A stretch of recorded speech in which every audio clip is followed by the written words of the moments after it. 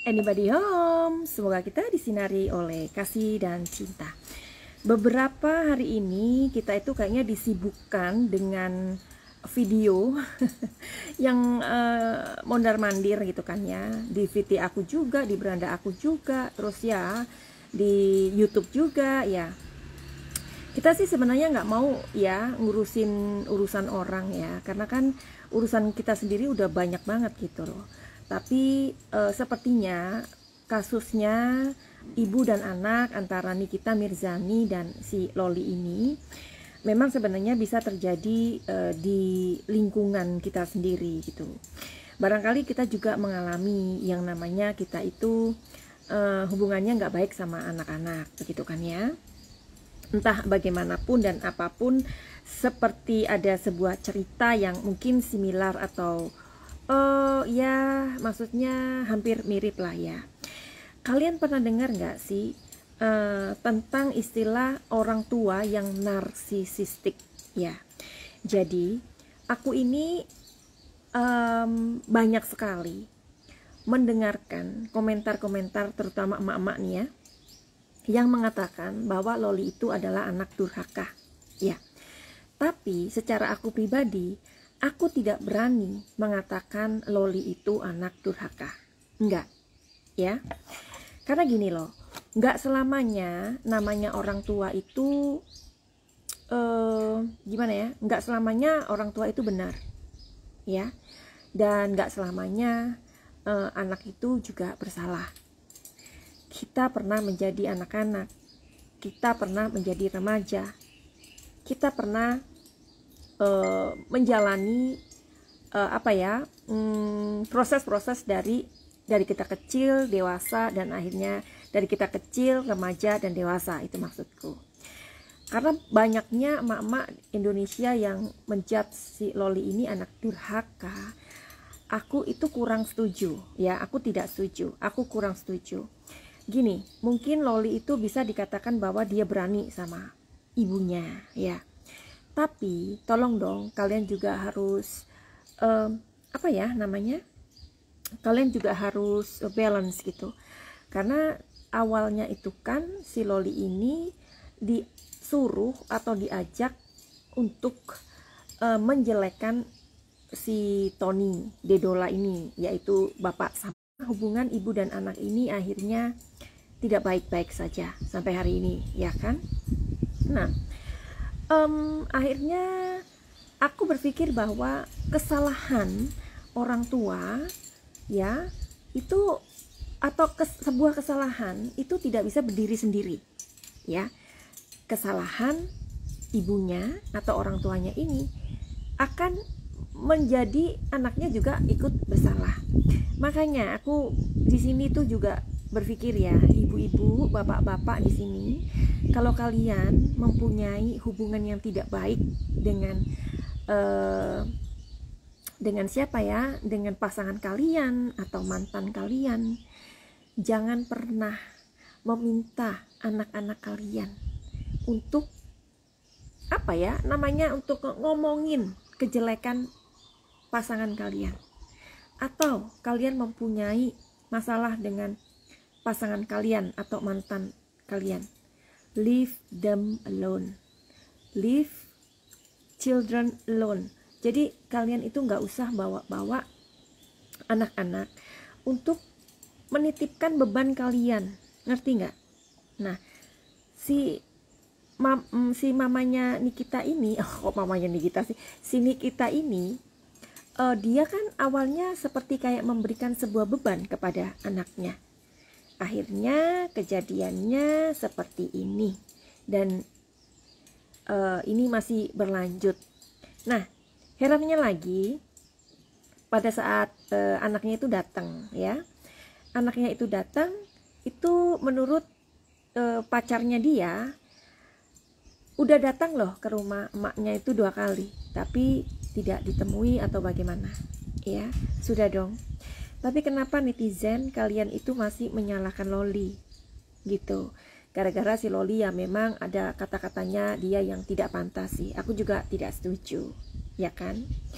tapi maksud aku gini mentalnya Loli ini bisa hancur loh karena netizen Indonesia ini yang juga memberikan judgement-judgement yang sangat jahat menurut aku ya karena ini pastinya akan membuat kehidupan Loli ke depannya itu akan mendapatkan trauma lah. Dia merasa kayak ya kalau kita bilang sih itu adalah kepahitan gitu ya. Tapi aneh ya Loli ini kan sama ibunya dari kecil ya jelas-jelas di sini Loli itu membutuhkan figur seorang ayah ya so that's why dia menganggap si Tony Dedola ini adalah ayahnya ya kan? Yang maksudnya ayahnya ini uh, bisa memberikan dia pengertian bisa diajak ngomong dan itu diakui oleh Loli sendiri ya. Tapi ibunya mengatakan bahwa enggak itu uh, si Loli itu nggak ada kok. Dia tuh kalau misalkan hmm, dia tuh bahkan nggak pernah ngobrol. Nah kalau menurut kalian gimana nih? Siapa yang kalian percaya? Uh, terus kita juga bertanya-tanya. Mungkin kalian bertanya-tanya ya papanya si Loli ini ke mana? Kok dari dulu dia itu sama ibunya? Ah jadi tiga anak ini kan eh, bapaknya beda-beda ya. Ah, ya memang begitu kan? Nah si Loli ini bapaknya nggak pernah ada gitu loh nggak pernah dimunculkan nggak pernah uh, ada sama dia gitu. Apakah si Loli ini dipisahkan sama papanya? Nggak diberi aset? Ya kalau yang namanya tidak diberi aset itu ya uh, mudah sebenarnya. Ya nggak usah dikasih nomor teleponnya. Eh, rumahnya nggak nggak bisa didatangin ataupun mungkin alamatnya tidak perlu tahu ya kan? Apalagi kalau bapaknya mungkin tinggalnya di luar negeri ya alamatnya aja nggak perlu tahu. Terus uh, mungkin berpindah-pindah mungkin ya kan. Tapi kalau bagi seorang uh, mamanya Loli enggak kan kan orang kaya ya kan. Nah jadi uh, kalau aku sih prihatin dengan Loli ya yang sudah mendapatkan apa ya namanya hubungan yang sedemikian rupa. Padahal Loli ini sudah berniat banget untuk memperbaiki ya kan? Dengan dia datang ke Indonesia terus uh, dia juga diantar pacarnya uh, datang ke rumah ibunya dan tidak dibuka pintu atau tidak ditemuin. Dan kemudian sampai pacarnya mengatakan bahwa saya rela uh, kalau misalkan kamu kembali ke ibumu ya dan diterima. Aku rela memutuskan kamu. Dan aku sudah melihat di kartu tarot apa yang dikatakan Fadel Bajide itu. Uh, dia tulus. Dan satu lagi uh, mamanya Loli itu dia kalau berurusan dengan orang kalau dia berantem sama orang ya kenapa dia selalu memberikan sebuah predikat apa ya maksudnya julukan gitu ya. Kayak misalkan Kang Semir atau apalah kita tahu lah ya kalau uh, apa yang dilakukan mamanya Loli ini kan memang hmm, selalu berurusan dengan sensa sensasional ya orangnya seperti itu dan dia selalu memberikan julukan-julukan kepada orang-orang yang bermasalah dengan dia ya. Oke.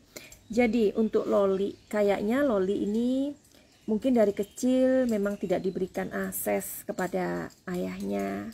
Mungkin Loli sendiri merasa hubungannya sama papanya itu tidak tidak baik atau kurang harmonis atau ya nggak ada hubungan emosi lah ya kalau masih kecil di tidak didekatkan sama uh, papanya ya pastinya nggak ada hubungan emosional tapi begini ya kalau dalam satu keluarga uh, suaminya uh, suami istri ini bercerai ya. Orang tua ini bercerai. Anak ini broken home ya. Dengan dengan status atau kondisi yang uh, broken home itu anak ini udah menderita loh ya kan? Nah terus uh, orang tua yang kemudian uh, uh, tidak bisa memberikan kasih sayangnya secara utuh atau dimonopoli itu juga sangat-sangat tidak baik ya it's not fair begitu. Anak-anak itu nggak perlu diberikan sebuah ini ya di, di anak itu nggak perlu dikasih beban. Ya nggak usah dikasih beban nggak usah disuruh milih. Misalkan kamu ikut papa atau ikut mama? Karena dua-duanya itu sebenarnya tidak mau memilih. Maunya ya maunya memilih ya orang tuanya jangan cerai jangan berpisah kan begitu? Tapi karena kondisi dan situasi orang tuanya memang tidak bisa untuk bersama-sama ya akhirnya anak ini kan bakalan ikut papanya atau mamanya. Tapi alangkah baiknya kalau anak ini ikut uh, ibunya misalkan jangan pernah dilarang-larang untuk ketemu bapaknya. Gak ada satupun di dunia ini uh, orang yang bisa memisahkan kasih sayang seorang ayah ataupun kasih sayang seorang ibu.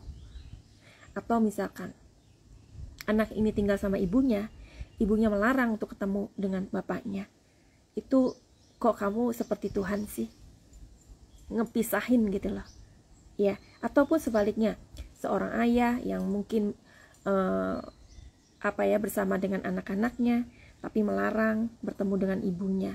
Itu rasanya sangat egois ya sangat sangat sangat egois begitu apa pun alasannya ya apa pun reasonnya oke jadi, kalau menurut aku sih ya, mudah-mudahan Loli bisa mencari papanya aja deh.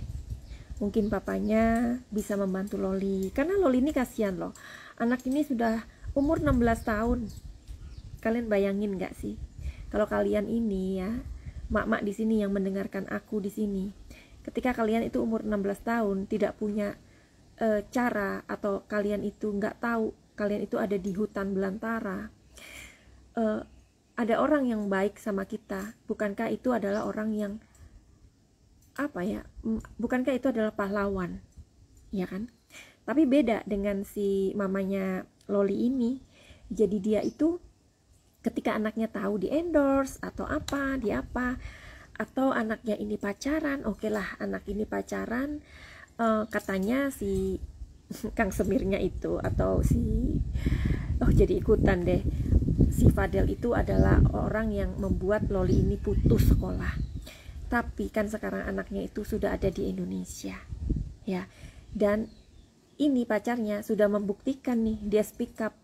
Dia ingin memberikan anaknya, ya kan? Dan dia mau mau memutuskan kalau si Loli ini kembali sama ibunya. Sampai seperti itu loh. Nah, ini malah kayak dijatuh-jatuhin atau apa gitu ya jadi kebayang nggak sih si Loli ini umur 16 tahun, dia ini berusaha akan menghidupi dirinya sendiri, tapi itu jalannya kayak dibuntu, tapi itu kayak orang yang mau endorse dia kayak awas lo ya gini-gini kayak diberikan sebuah uh, apa ya ketakutan ini itu dan begini-begini. Jadi orang itu kan kalau mau mengendorse dia ya juga bakalan gimana sih ya uh, maju mundur gitu loh Ya, jadi oke. Okay. Uh, eh, aku ada sedikit uh, info nih ya. Um, aku pernah mempunyai seorang klien. Klienku ini kebetulan hidup dengan seorang ibu yang narsisistik. Awalnya dia tidak memahami apa sih itu narsisistik gitu loh.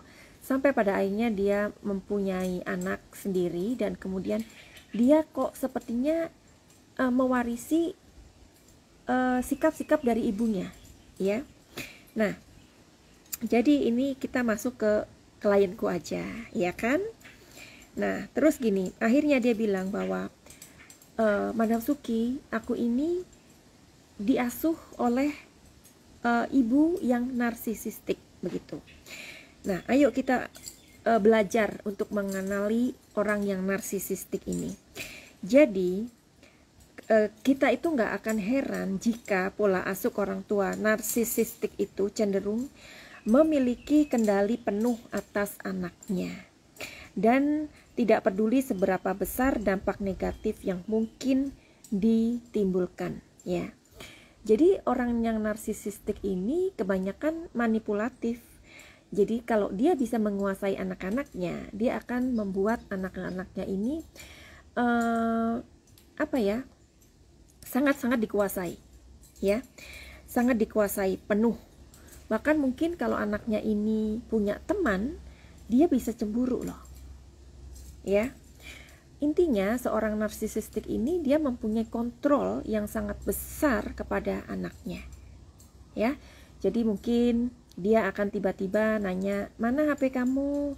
Mama pinjam gitu kan ya. Nah di situ dia diselidikin.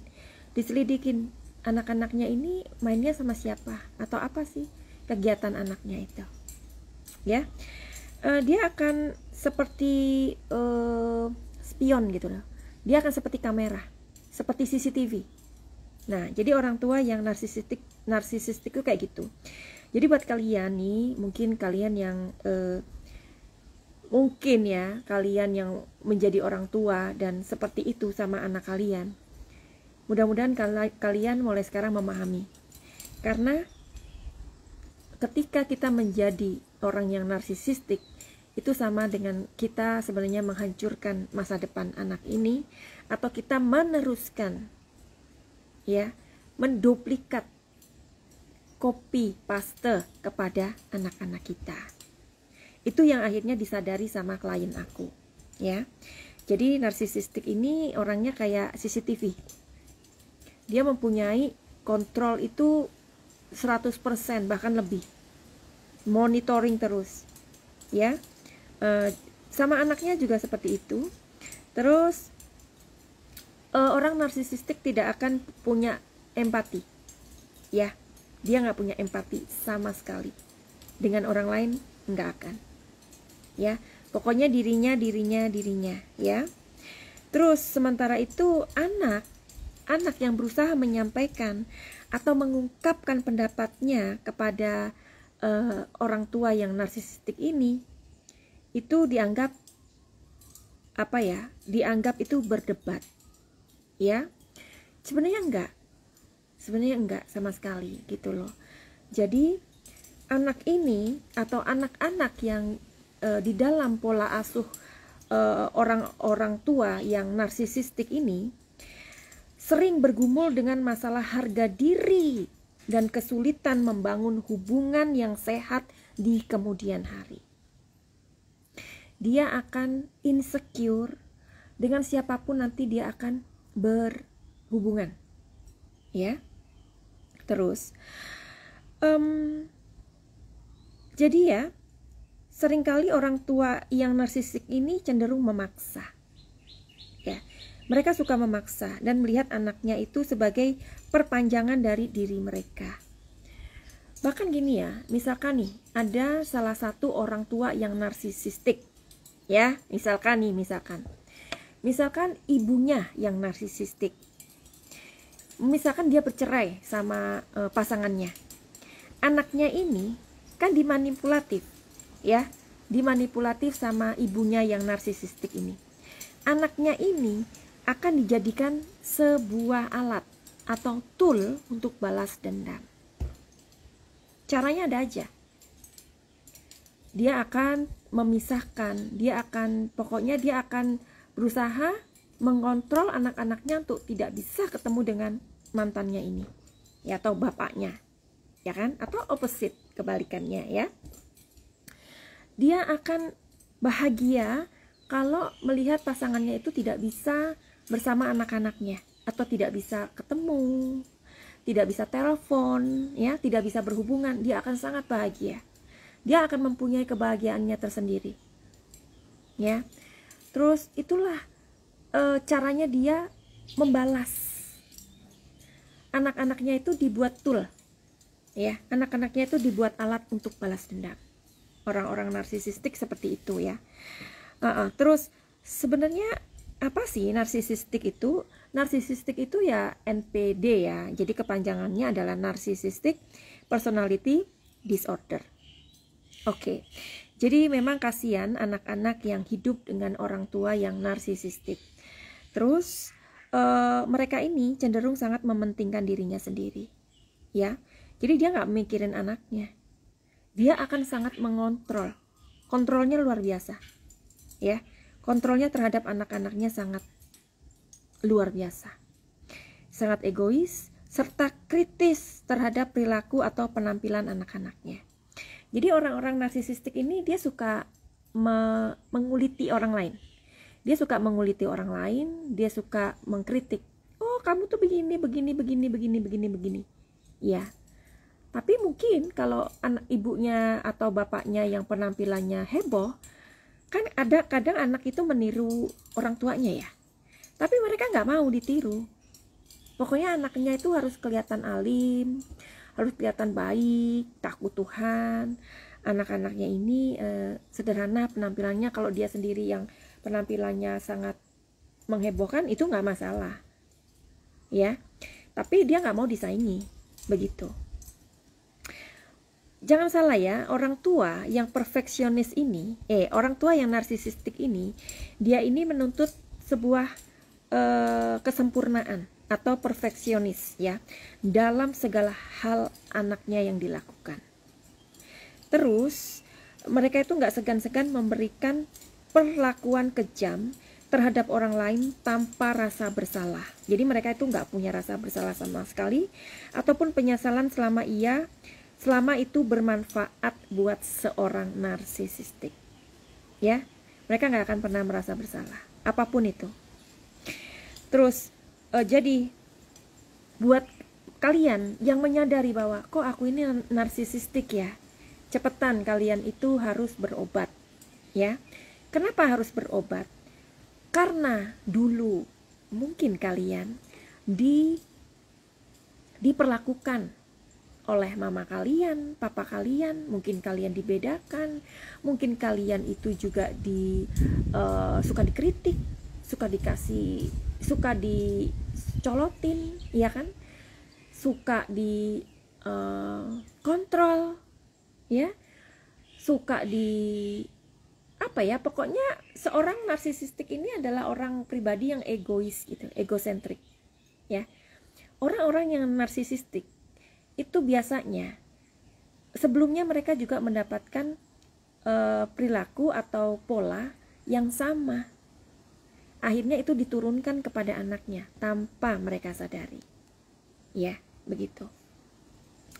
Terus uh, dia juga sebenarnya sangat mengharapkan pujian orang lain. Orang narsisistik itu suka sekali dipuji. Ya. Kalau dipuji, dia akan bahagia. Uh -uh Terus um, orang tua yang narsisistik ini kalau mempunyai anak yang misalkan narsisistik itu mempunyai anak kelima misalkan ya. Seorang narsisistik ini mempunyai anak lima misalkan. Salah satu ada nanti salah satu anak yang akan diprioritaskan yang dipuja yang diagung-agungkan. Sehingga empat anaknya ini yang akan kalah. Tapi jangan salah dari empat anaknya ini nanti salah satu akan menjadi narsisistik juga. Ya. Jadi inilah orang narsisistik itu akan membuat atau me, memproyeksi apa ya mem, mem, mem, mem, mengcopy paste ya akan mempo, mem, memcopy paste kepada anak-anaknya oke okay? sikapnya sangat-sangat manipulatif. Jadi, orang yang narsisistik ini uh, sangat melebihi ekspektasi, ya. Ekspekt ekspektasinya itu terlalu tinggi, ya. Terus dia pinter banget memanipulasi anak-anaknya, emosinya, terutama emosi anak-anaknya. Dia mempunyai cara yang sangat pintar, dan dia juga menganggap dirinya pintar loh dia memang pintar ya tapi itu semuanya untuk ke sebuah kepentingan ya sebuah kepentingan. Terus orang yang narsisistik ini tidak akan ragu untuk menyalahkan siapa pun. Si A si B si C si D. Si jadi misalkan dia itu dalam ke kehidupannya itu dia dikelilingi si A sampai si Z si si si, si Z misalkan ya. A sampai Z ya. Misalkan si A sampai si Z itu punya masalah sama dia, orang narsisis, narsisistik ini akan mengatakan A sampai Z itu salah. aku yang benar. Jadi gimana dong? Aneh ya? Nah itu karena dia sifatnya itu manipulatif orang-orang yang ada di pihaknya dia itu akan menerima oh ya itu yang salah ya itu yang salah. Jadi brainwashnya luar biasa. Nah terus uh, menjadi posesif ya. Jadi hati-hati buat orang tua yang narsisistik ketika nanti anak-anak kalian itu keluar dari rumah, kalian gak akan bisa menerima itu. Meskipun anak kalian misalkan punya pacar, contohnya Loli ya. Loli ini punya pacar kan? Dia kan akan berusaha untuk ke bagaimana untuk me, menguliti, menguliti orang itu supaya tampak eh, tidak sebanding, tidak selevel dengan anaknya. Nah, seperti itu ya. Jadi kalian pernah nggak sih melihat film-film yang ibunya itu hmm, narsisistik banget? Jadi anaknya ini, anaknya ini, uh, ini film barat ya, bagus banget. Jadi si ibu ini dia me memanipulatif anaknya. Memang sayang banget anak satu-satunya ini tapi ketika anaknya ini mau kuliah, inilah jadi egosentriknya itu sangat bermain di sini dan kemudian eh, anaknya ini dicekokin obat tiap hari sampai akhirnya lumpuh. Ini bagus banget ceritanya. Kalau nggak salah judulnya itu Run, R-U-N, ya. Jadi eh, ibunya ini nggak mau anaknya itu kuliah, pokoknya ibunya itu kepengen bahwa anaknya ini menjadi bonekanya dia. Jadi dia merasa bahwa ya ini anak kecilku yang aku gendong ya aku ini gitu. Sick in her mind ya. Jadi orang yang sakit secara secara ini secara apa itu namanya? Secara mentality ya. Kasus-kasus seperti ini banyak sekali ya. Uh, uh, mungkin yang kita lihat ya seperti hubungan uh, hubungan orang tua dan anak yang yang kebetulan mereka adalah selebritis itu itu yang di permukaan. Yang tidak tampil di permukaan ini lebih banyak banget ya. Nah sama seperti karakteristik seorang yang narsistik narsisistik pada umumnya yang ingin melihat lebih unggul dari segala bidang daripada orang lain begitu. Jadi karena mungkin dia atau mereka ini dulu dalam pola asuhnya itu uh, selalu dibanding-bandingkan ya. Jadi ada sebuah hasrat dia itu ingin menunjukkan prestasi. Begitu, ya.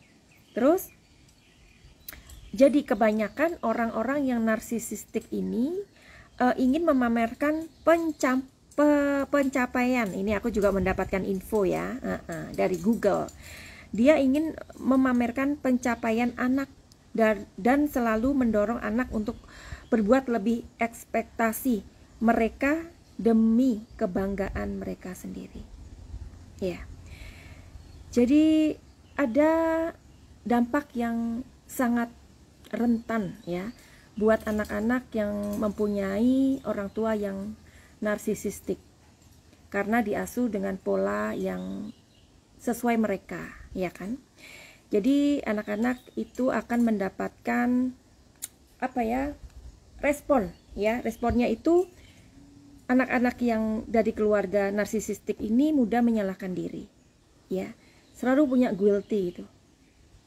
Karena dia merasa aku nanti kalau nggak bisa ngebahagiain mamaku gimana aku nanti kalau nggak bisa ngebahagiain papaku gimana karena papaku mamaku ini kan uh, sangat sangat baik. Nah, jadi manipulatifnya di situ. Aku itu sudah memberikan semuanya kepada kalian. Gitu. Ya. Jadi anak ini dibuat guilty. Terus akan kesulitan membangun hubungan dengan orang lain, terus memiliki kepercayaan diri yang rendah, kebanyakan minder. E, terlalu bersikap mandiri. Memang mandiri itu bagus, tapi ketika seorang anak yang terlalu mandiri itu tidak bagus juga. Jadi ada plus minnya ya. Kurang memperhatikan diri sendiri. E, ikut mengembangkan perilaku narsisistik.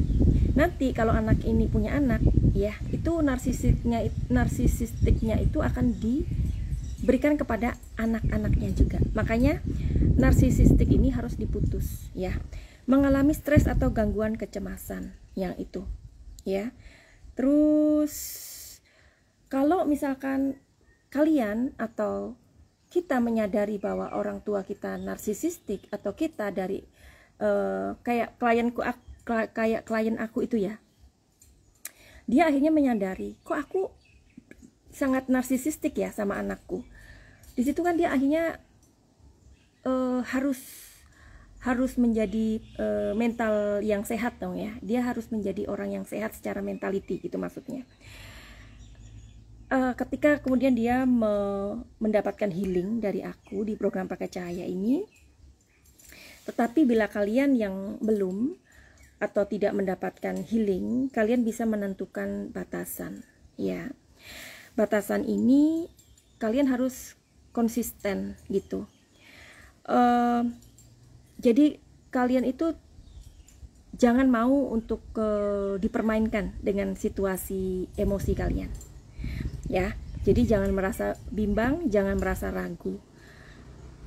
Jadi tentukan batasan. Misalkan oke okay, aku setelah kuliah aku harus mandiri dan aku harus lepas sama orang tua. Biasanya setelah lepas dari orang tua itu akan melihat secara jernih perlakuan orang tua kita kepada kita. Tapi ingat ya orang tua yang narsisistik nggak akan pernah membiarkan anaknya hidup di luar tanpa dirinya jadi dia akan terus seperti kayak glue gitu loh. Seperti lem. Anaknya tuh dilem. Bahkan ketika nanti e, anaknya ini punya pacar nggak bisa. Ya nggak bisa. Jadi nggak mau. Istilahnya nggak mau diambil anaknya. Gitu. Ini bahaya memang ya. Orang narsisistik itu bahaya. Lah terus um, kalian harus memberikan ruang. Ya seharusnya sih orang tua yang narsisistik ini harus memberikan ruang lah kepada anak-anak kalian ya kan? Anak-anak ini kan bakalan uh, tua sih nantinya. Bakalan punya kehidupannya sendiri. Karena kalian bakalan mati. Orang tua itu bakalan mati. Iya kan? Nggak mungkin kalian kita ini hidup terus. Nggak. Jadi ayo kalian itu mesti sadar diri gitu. Karena kalian atau orang tua itu bakalan meninggal suatu hari ya. Terus anak-anak ini bagaimana?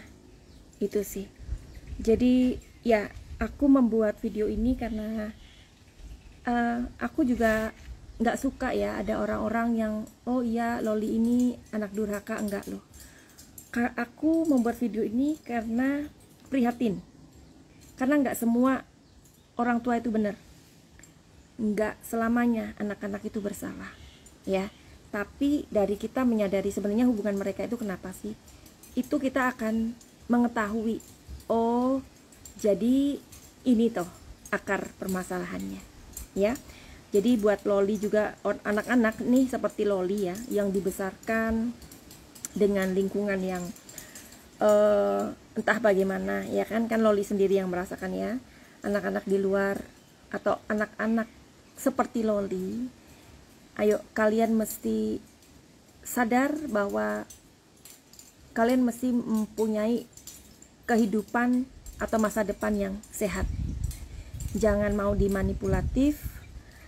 Um, kalian harus menjadi versi terbaik kalian sendiri bukan versinya orang tua kalian.